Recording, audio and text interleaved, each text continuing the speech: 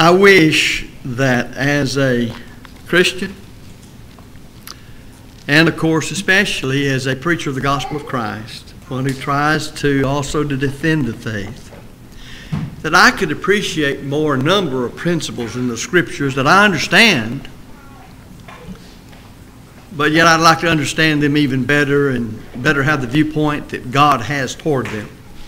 And that's part of developing and growing up in Christ. And one of those is the unity that God expects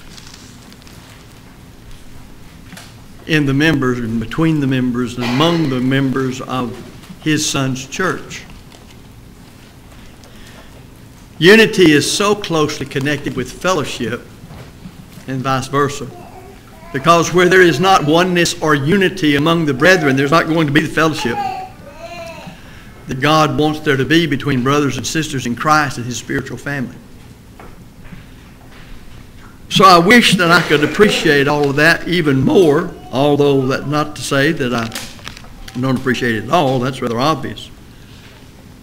Before our Lord died, just before he died, we have John recording a prayer of his when he was in the garden.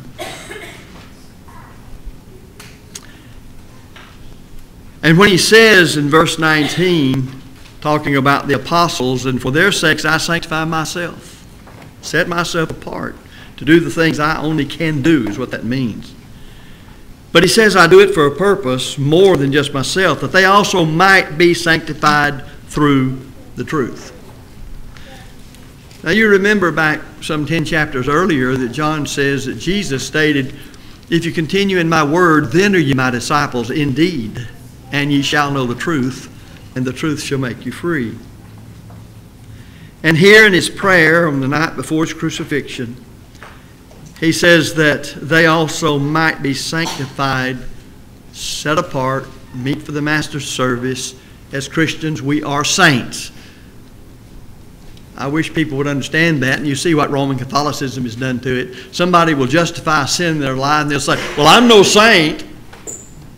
They might as well say, I'm no Christian.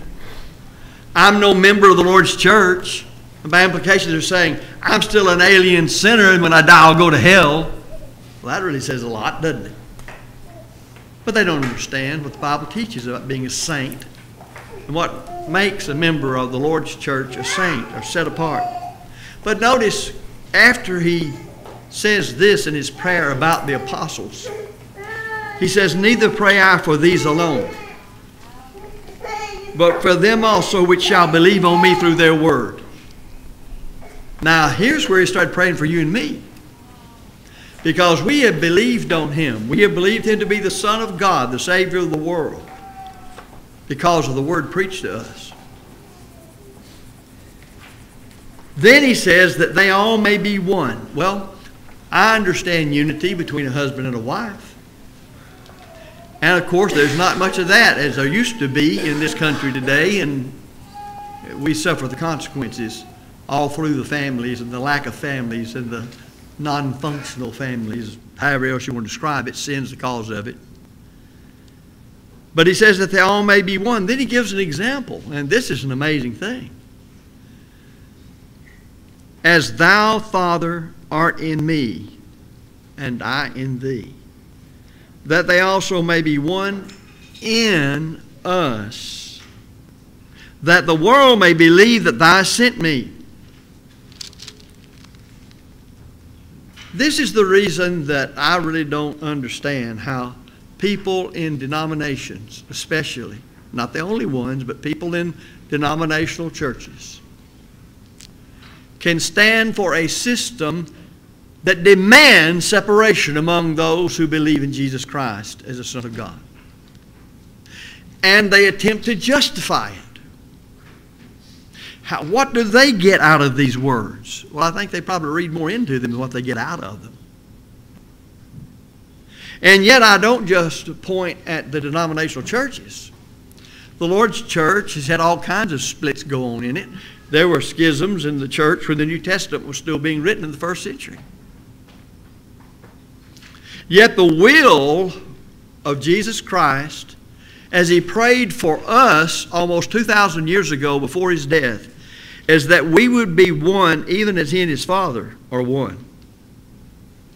Now, how are his Father and him one? Well, that's a question great many theologians have tried to figure because it's a oneness that's not like totally and completely the unity between a husband and wife if they have become one unit and operate as the Bible says husband and wife ought to. Of course, that's certainly a oneness as it fits marriage and the home. But the oneness that the Father and the Son and the Holy Spirit has is a oneness of essence. Now, explain to me, preacher, what you mean by oneness, and especially of that word essence. I can't. The essence is what they actually are. Yet there are three personalities who have that essence of deity no beginning, no ending, inhabits eternity, omnipresent, omniscient, omnipotent. And it's whatever they are. And now we search for words because we start trying to use words that fits our situation. Whatever they consist of, best I can do. It's eternal. Well, my mind goes bonkers right there. How do you exist without a beginning? God has no beginning. We are limited to time and space. He created those and then made a world out of all of the galaxies in the universe, and then only one planet in one galaxy that was fitted for man. I don't understand all of that. Because the secret things belong to God, but the things that are revealed unto us and our children forever. They're needful for us to live as the Lord wants us to live here on this earth, and we must live if heaven's to be our home. So Jesus, well, let's just put it the way, this way. The first, second, and third persons of the Godhead, the second person who became incarnate in our Lord on this earth for a while. There is a togetherness, a unity, a oneness in all things because of the essence of their being that he has prayed that we be one even as he and his Father are one. I know what that does do for me. It causes me to realize, whew, what a oneness he is asking us to have. Now, there's another thing, too, that comes out in this as to that oneness that we in the church, the spiritual body of Christ, and the many members that make it up, that we might be one even as he and his Father are one. And that has to do with authority. And let me emphasize that point right here. There's not, never going to be the unity for which Christ prayed unless there is that understanding, that appreciation, and that desire on behalf of mankind for the authority